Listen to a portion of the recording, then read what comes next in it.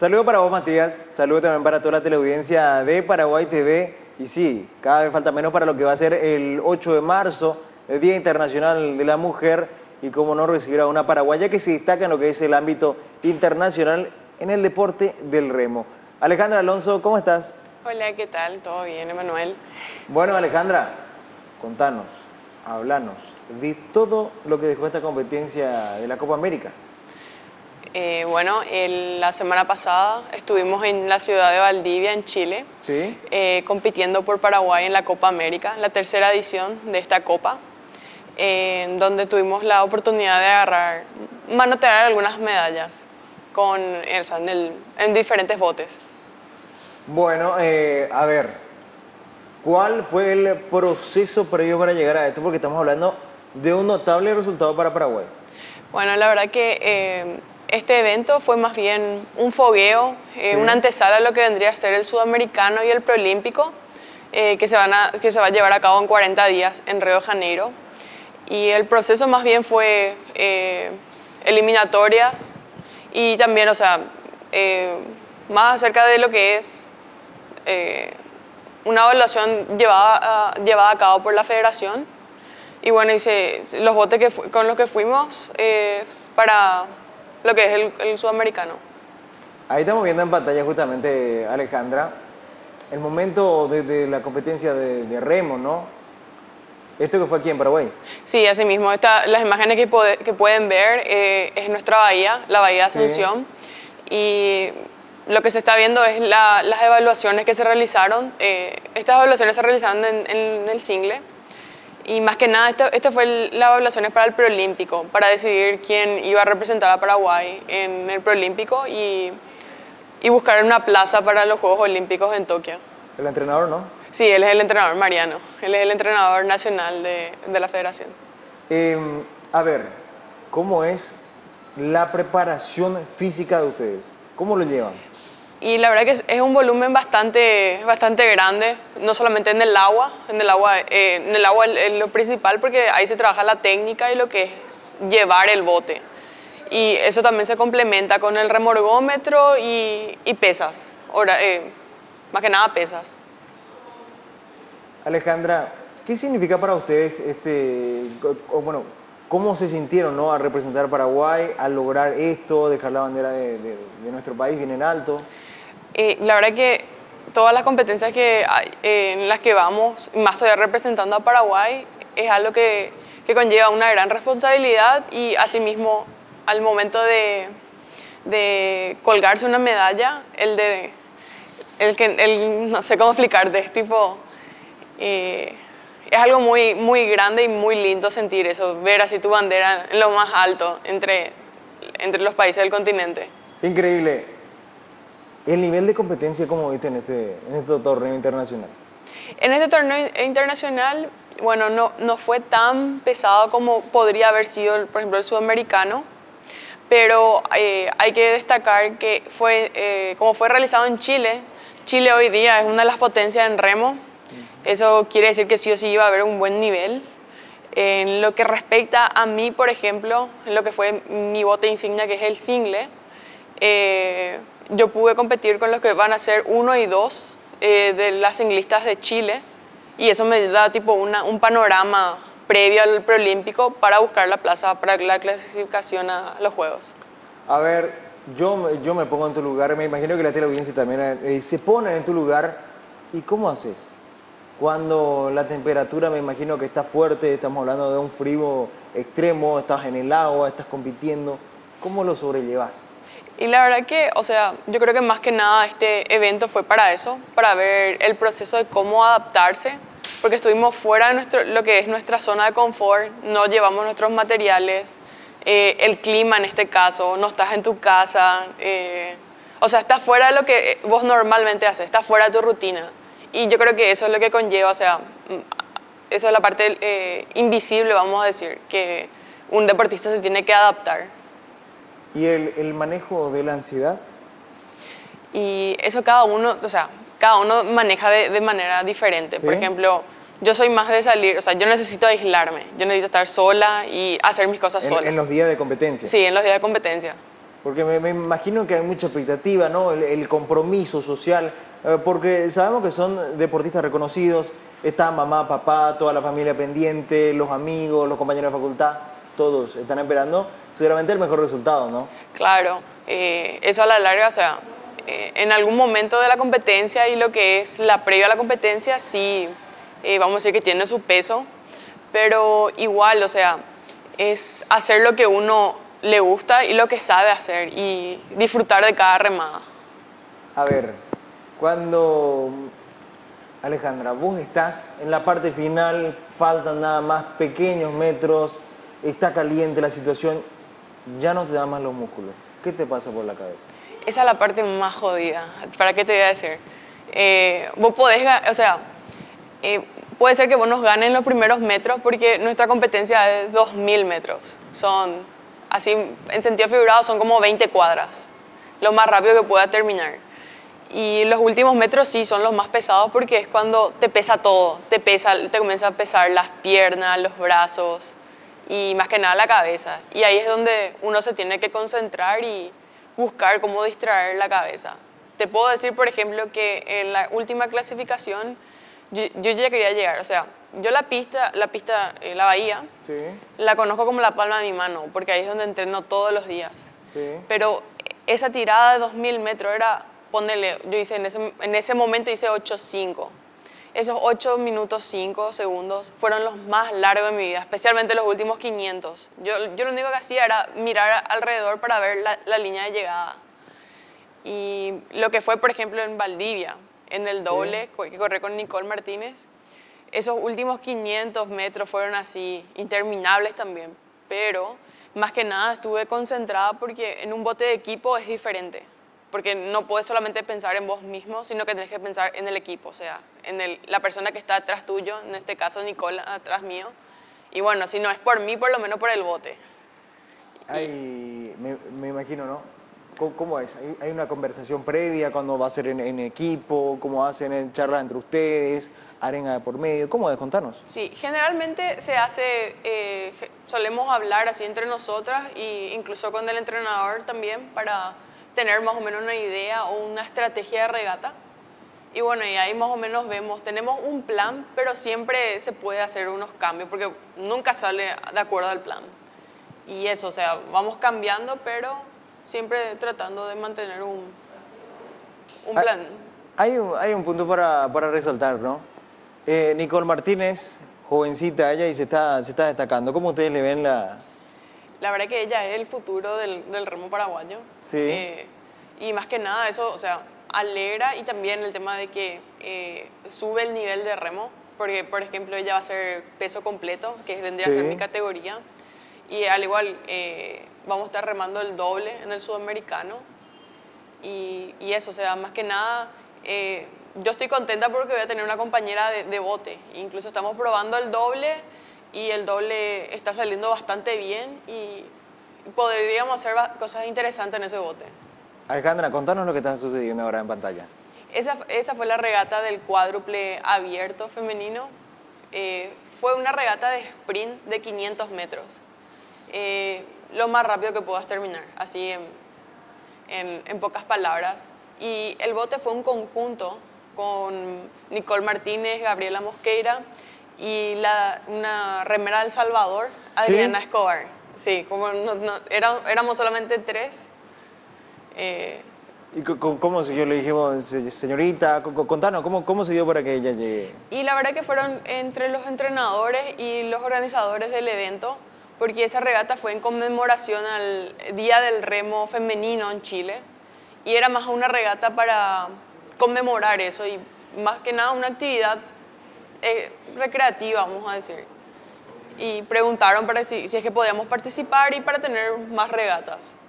Es lindo, a mí me causan sensaciones muy, muy lindas, la verdad, porque Paraguay está logrando resultados a nivel femenino en lo que es el remo, ¿no? Sí, así mismo. Eh, la verdad que el, el nivel, el nivel nacional está creciendo y al igual que ver más chicas remando es bastante eh, bueno en ese sentido porque vamos a tener más semilleros para eh, posibles nuevas remeras. Alejandra, Suspenso para la audiencia, porque esta pregunta es muy importante.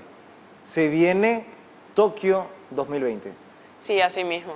En 40 días voy a estar largando, voy a estar en la, en la línea de salida buscando mi lugar.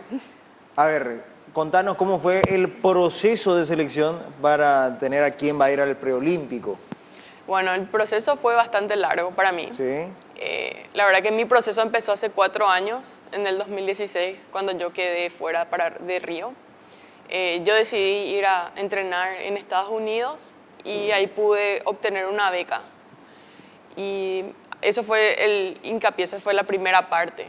Eh, el tema de adaptarme allá, estar con lo que es tratando de compaginar lo que es el estudio y, y el proceso que vendría a ser para Tokio.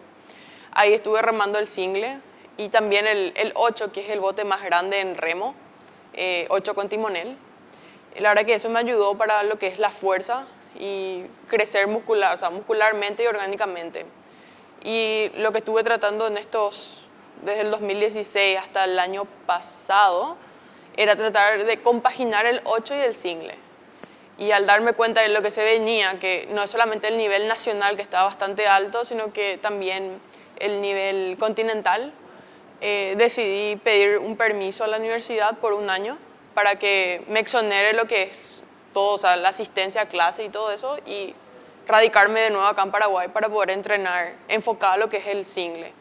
Y también estuve aprovechando lo que fue el empujón de los Juegos Panamericanos de Lima, que estuve remando de continuado el single. Eh, eso también me ayudó bastante, lo que fue remar, remar el single tiempo completo. Y bueno, después de lo que fue el Mundial, el, o sea, los Juegos Panamericanos y el Mundial, estuve aquí entrenando bajo la dirección de Mariano Kovalcic, que es el entrenador de la selección. Y, y, eso, o sea, entrenaba de lunes a lunes, pesas, remorgómetro. Y la federación decidió hacer una eliminatoria de tres mejores. Bueno, en realidad fueron dos. En caso de que haya un empate, se iba a una tercera vuelta. Eh, que fue realizado hace un mes más o menos, en enero. Sí. Fueron dos, el 15 y el 31. Y, y eso. Es increíble. A ver, ¿qué te llevó la decisión a irte a, a, Estados Unidos, no? Esto, por supuesto, me imagino que buscando la clasificación. Claro, o sea, más que nada, eh, bueno, aquí en Paraguay, en esa época, eh, bueno, igual sigue siendo un poco eh, difícil Sí. compaginar lo que es el estudio y el alto rendimiento. Eh, más que nada fue eso, porque o sea, hay que entender que el remo de alto rendimiento conlleva de 8 a 10 años y no te puedes quedar solamente colgado, vamos a decir entre comillas, entrenando todo el día. Entonces, es difícil, pero se puede. O sea, tenés que dejar de lado muchas cosas o sea, y, y estar decidido y realmente elegir vos hacer eso. Porque si es que no tenés un propósito, va a ser muy difícil. Alejandra, ¿cuánto sacrificio? Porque muchos vemos el resultado, pero ¿qué hay detrás de todo esto? Uf, es- o sea, esto que se ve ahora es solamente la punta del iceberg, porque conlleva muchas cosas. O sea, si me decís, o sea, con esta pregunta, tipo, más o menos me desarmás, porque no quiero quedar mal con, Sí. con nadie, pero hay muchas personas involucradas, o sea, de- detrás de eso. Me imagino que esto de- despierta sentimientos, ¿no? Sí, sí, de todo. O sea, imagínate que va desde de lo que es la familia, Sí. eh, a nivel, vamos a decir, eh, o sea, federación, comité olímpico, secretaría que siempre apoyaron, eh, entrenadores, diferentes entrenadores, porque en estos cuatro años pasé por tres diferentes entrenadores. O sea, fue, mi primer entrenador fue Rubén Pese, con el que o sea, me tuve tipo que destetar, vamos a decir, tipo, te- yo al irme de Paraguay dejé de ser entrenada por él Sí. y en Estados Unidos estuve trabajando con Eduardo de Camilis y de nuevo volví aquí, estoy bajo la dirección de Mariano Kovalcic. O sea, es un logro, o sea, el logro que, todo el logro que yo hago no es solamente mío, sino que es también de todas las personas que est- están detrás mío. Hay un grupo humano Sí, hay un grupo humano que bastante- respalda todo sí. esto.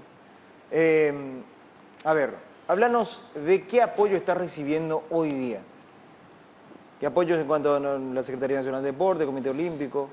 La verdad que el Comité Olímpico y la, y la Secretaría Nacional de Deportes siempre me apoyaron desde... Yo estoy en el programa eh, de ayuda, o sea, el programa vamos a ir de becados desde el 2013. Y, y, eso, o sea, fui ascendiendo, o sea, ascendí, descendí, pero siempre estuve dentro del programa. Y la verdad que eh, pude ver lo que fue el proceso de crecimiento de ese programa, porque cuando empezamos creo que éramos, no sé, 26, creo, no sé, porque nunca, nunca nos llegamos a conocer entre todos. Sí. Pero hoy día yo creo que somos como 70 o un poco más. Que el Estado está apoyando, ¿no? Claro. El Estado apuesta a, los, a, los, paraguayos que se destacan en lo que son las disciplinas deportivas y les deja que, que procuren dedicarse plenamente a lo que es el deporte. Claro, porque, o sea, eh, yo creo que en ese sentido el programa está bastante bien enfocado, porque no es tampoco que vos te vas y ganas una medallita y ya está. No. No, o sea, tiene que ser un proceso continuo y, y o sea, que tiene que, o sea, tiene que apuntar a algo, ¿entendés? Tipo, no es que solamente hay, o sea, ganas una medallita, te dan el apoyo, desaparece y ya está, y vos seguís cobrando. O sea, no funciona así, porque año tras año se, se, se reúnen con un comité de, de, alto rendimiento entre la Secretaría Nacional de Deporte y el comité y analizan lo que fue tu resultado durante, los años, durante el año para ver si es que te quedas en tu misma categoría, ascendés o descendés. Alejandra, esto termina siendo un compromiso social para ustedes, ¿no? Porque representan al país, todo esto. Y es un compromiso, pero a la misma vez es una elección, porque vos estás eligiendo esto. Sí. Y yo creo que... Se disfruta. Se disfruta, o sea, eso yo creo que es una de las principales cosas, que es aprender a disfrutar, a disfrutar de esto y más que nada hacer, hacer que sea una, tipo, una pasión. Y, porque así dicen que si trabajas en tu pasión nunca vas a trabajar. Claro. Eh, me imagino que, te, estás divirtiendo ahí en el agua, ya por Miami. Más o menos, tampoco, no es tan así tampoco, pero sí. Sí, ¿y aquí en Paraguay cómo la pasas? Aquí la paso bastante bien, o sea, la verdad que extrañaba bastante mi casa, lo que es mi, mi gente, vamos a decir. ¿Después de cuánto tiempo volviste? Y, a ver, 2016, como cuatro años. ¿Como cuatro años estuviste estando allá? Sí, como cuatro años. Igual estuve yendo y viniendo en mis vacaciones, pero no es lo mismo porque cuando vos llegas ya estás contando, ay, me tengo que ir en dos semanas. Sí, sí. Bueno, Alejandra, ¿cómo está el remo actualmente en Paraguay? Bueno, yo creo que el remo hoy día está creciendo, sí. pero creció bastante porque eh, cuando yo empecé solamente había dos clubes, que son los tradicionales, que son el Club Deportivo de Puerto Sajonia y el Club Biwa. Y hoy día creo que estamos, creo que hay más de ocho clubes o ocho clubes de remo en todo el país. Imagínate que antes había solamente dos activos y el campeonato nacional era tipo onda re, no sé si aburrido, pero no, no había esa emoción porque no había más clubes. Y hoy día el campeonato nacional eh, están compitiendo entre cuatro a cinco clubes. No en todas las categorías, pero por lo menos en algunas veces bastante reñidas. Y eso, y, y, más que nada ahí puedes ver en, lo que fue los clasificatorios, que yo por ejemplo soy del YAD, sí. y puedes ver que en los clasificatorios eh, no, no es que estuvieron eh, solamente los clubes tradicionales que fueron el Mbiguay y el, y el Sajonia, también estuvieron el YAD, el Club Alemán, Paraguay Alemán, y eso. A ver, hay un punto muy importante también. Em, yo, soy televidente, yo estoy viendo Paraguay TV en estos momentos. Yo quiero saber cómo puedo hacer para acercarme, aprender un poquitito más de la disciplina del remo, ir compenetrándome para practicar más adelante. ¿Cómo puede hacer la persona? Y, o sea, dependiendo de, las posibilidades de uno, o sea, por ejemplo, aquí en Asunción tenés el Club Biwa, si es que sos socio. Sí. Eh, no estoy tan segura, yo creo que igual te puedo acercar y por más que no seas socio, no, no quiero mentir, sí, sí, sí. pero es cuestión de acercarse a los clubes que ofrecen eh, remo. Y también está el Sajonia. Eh, si sos socio, yo creo que es tipo una cuota mínima que tenés que pagar. Y después está el, el, paraguayo alemán, que está aquí en la costanera, que es lo más cerca. O sea, generalmente siempre optan por ese porque es el, que está más cerca, porque te queda ahí en la bahía. Y luego está el YAT. Está un poquito lejos, pero el YAT. Bueno, ¿a qué se apunta? ¿A qué, qué es lo que se viene ahora, Alejandra Alonso? Y en 40 días se viene la clasificación a los Juegos Olímpicos, en donde quiero, quiero ganarme mi, mi lugar. Más que nada ganarme, porque creo que los anillos olímpicos son lo único que no te preguntan si querés o no querés. Vos tenés que ganarte esos anillos. ¿Soñaste desde pequeña esto? Y no sé si de tan pequeña, pero sí. Desde que empecé a remar, sí. O sea, en el momento capaz que no, que no soñaba, pero a medida que me iba ganando eh, esa, vamos a decir, el carácter competitivo, es como que sí, yo quiero irme a los Juegos Olímpicos. ¿Va a ser muy diferente el, nivel de competencia de Chile, la Copa América, a las Olimpiadas? ¿Qué tan diferente será? Bueno, en comparación de las Olimpiadas, sí. sí, va a ser bastante diferente. Porque el, nivel, eh, al menos en el single, al nivel mundial, es bastante fuerte. Eh, yo, yo, diría que es mucho más fuerte que lo que fue la Copa América, pero mucho. A ver, ¿cuándo arranca, ¿cuándo arranca el preolímpico? ¿Cómo va a ser eso? El preolímpico arranca del 2 al 5 de abril en Río de Janeiro. 2 al 5 de abril en Río de Janeiro. Sí. Por supuesto, todos vamos a estar apoyándole a Paraguay, a Alejandra Alonso, que nos representa en el sexo femenino. Em, a ver, un mensaje que quieras dar a la teleaudiencia, si viene el 8 de marzo, Día Internacional de la Mujer. Y la verdad que eh, si, si sueñan con algo, nunca desistan que no importa qué tan difícil o empinado sea el camino, siempre se llega a la punta. Bueno, Alejandra, te agradecemos muchísimo el tiempo que vengas a compartir con nosotros, que nos vengas a hablar un poquitito de tu deporte y sobre todo de esta destacada actuación de, Nicole, de Gaby, de vos, y estamos muy contentos. Ah, muchísimas gracias, en serio, por la invitación y por el espacio. Bueno, quiero que sepas que Paraguay TV es tu casa, puedes venir cuando quieras y siempre para hablar de lo que son las disciplinas deportivas y gracias. Muchísimas gracias. Bueno, con esto vamos a hacer un cierre de las informaciones deportivas, pero usted eh, sigue aprendiendo a Paraguay TV, que en breve retornamos con más.